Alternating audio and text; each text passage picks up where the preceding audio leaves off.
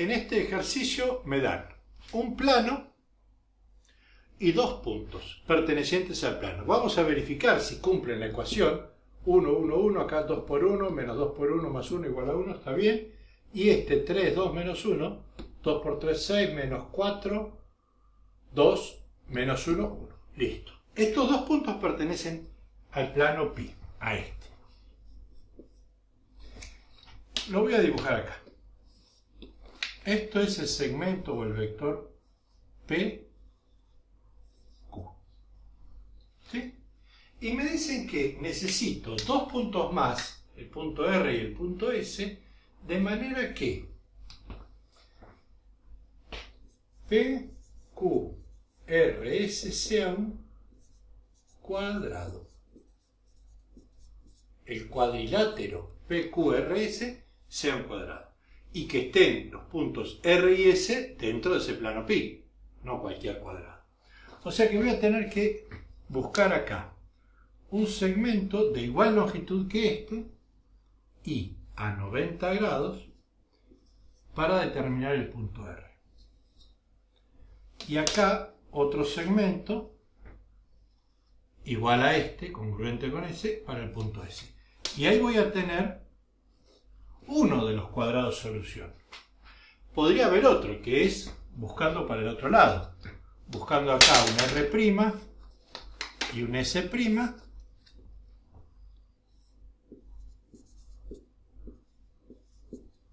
A ver cuál es la... Son dos conjuntos de soluciones diferentes. Bueno, todos esos puntos están en el mismo plano. Algo que me viene muy bien es contar con el vector normal al plano.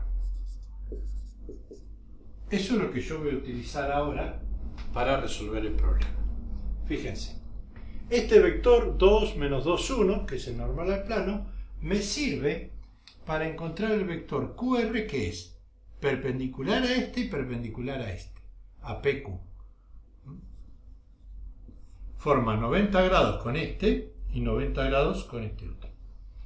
Entonces, yo sé que QR es perpendicular al normal y QR es perpendicular a PQ. PQ lo saco de acá. PQ es Q menos P me queda 2, 1, menos 2. ¿Sí? Muy bien. Además, yo sé que la norma de QR debe ser igual a la norma de PQ. Porque si no, no es un cuadrado. Bueno, vamos a hacer ese planteo. ¿Cuánto es la norma de PQ? La norma de PQ es la raíz de 2 al cuadrado más 1 al cuadrado más 2 al cuadrado. 9, la raíz es de 9 es 3. ¿Sí? Bueno, ¿cómo saco un vector que sea paralelo a QR? Necesito un vector perpendicular a este y perpendicular a este, que no me va a dar justo QR. Quizás no se cumpla con esto. Voy a buscar n producto vectorial por PQ. ¿Sí? Recuerden que siempre que yo necesitaba, siempre que yo necesitaba un vector perpendicular a otros dos, este perpendicular a este y a este, podía recurrir al producto vectorial. Vamos a ver cómo queda esto. I, J, K, N es 2 menos 2, 1, PQ. 2, 1 menos 2. Para resolver esto voy a repetir estas dos filas. Calculo estos productos de estas diagonales y estos, estas otras diagonales y me queda acá. Menos por menos más 4i. 2 por 1 por k, 2k. 2 por 1 por j, 2j. Ahora estas. Menos por más, menos 4K. 1 por 1, una i, menos 2 por 2, menos 4, j.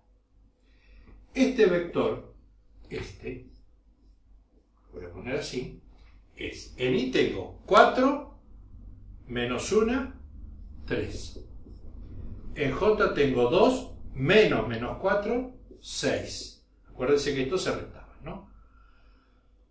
Y en k tengo 2, menos menos 4, 6. Este vector, si ustedes lo verifican, es perpendicular con n, con este, y es perpendicular con PQ.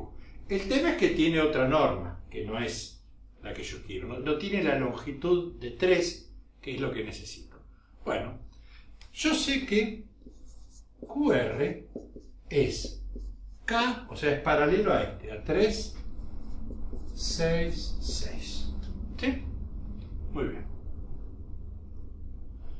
Necesito saber el valor de K para tener exactamente QR. Y eso sale de esta situación de decir que la norma de QR vale 3, para que sea igual a la norma de PQ. Muy bien, esto es 3K, 6K, 6K. La norma de QR es la raíz cuadrada de 9K cuadrado más 36K cuadrado más 36K cuadrado. La raíz de 81 da esto, K cuadrado. Quiere decir que acá tengo 9 por la raíz de k cuadrado va a ser igual a, dijimos, 3. Esta ecuación quedaba así. Raíz de k cuadrado igual a 3 sobre 9. O sea que el valor absoluto de k es igual a un tercio. k vale más un tercio o K vale menos un tercio. tercio. Precisamente, un valor positivo me va a dar un vector y uno negativo el otro. ¿Sí? Así que vamos a tomar primero K igual a un tercio. Con K igual a un tercio tengo que QR es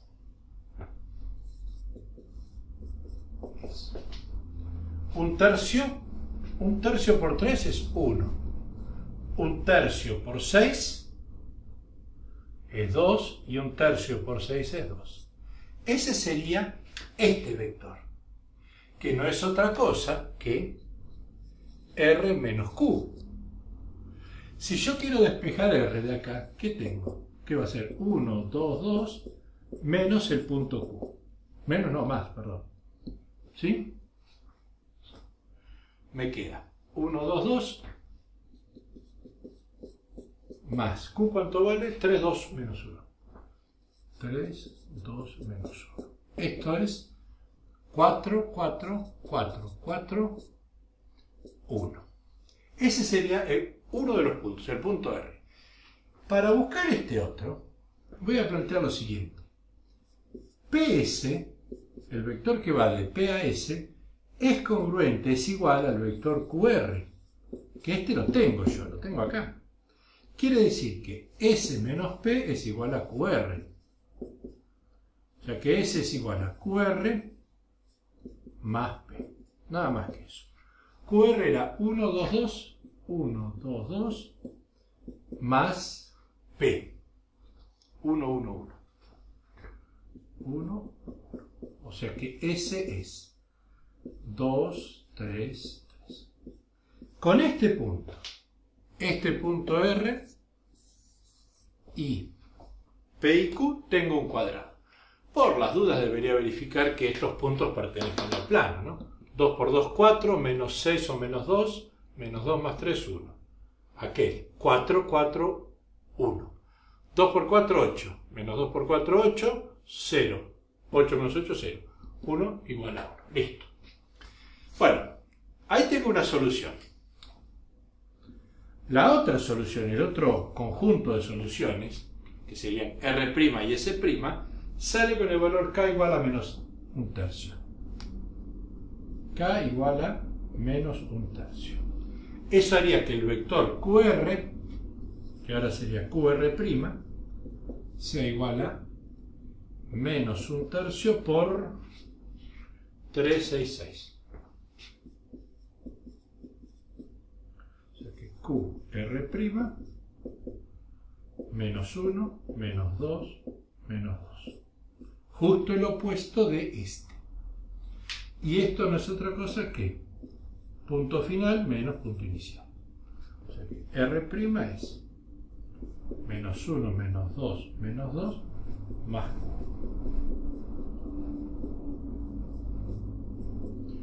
Q 3, 2 menos 1. 3, 2 menos 1. Me queda 2, 1, menos 3. Esto es mi R'. Parte de la otra solución. Y S' lo voy a sacar de acá. PS' es congruente con PS' con QR'. Ahí está. Quiere decir que S' menos P es igual. QR' lo tenía.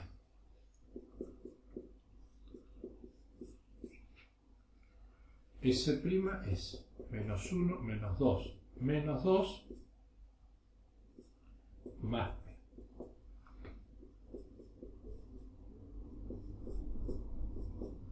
P. P111. Y ahí se acaba el problema. ¿eh? 0 menos 1 menos 1. Este es mi punto SP. Esto es mi otra solución. Este punto tal, estos puntos pertenecen a tal, así que ya está. No hay mucho más para inventar. ¿Sí?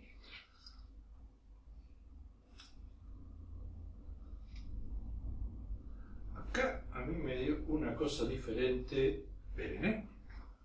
2, 2, 1 menos 3.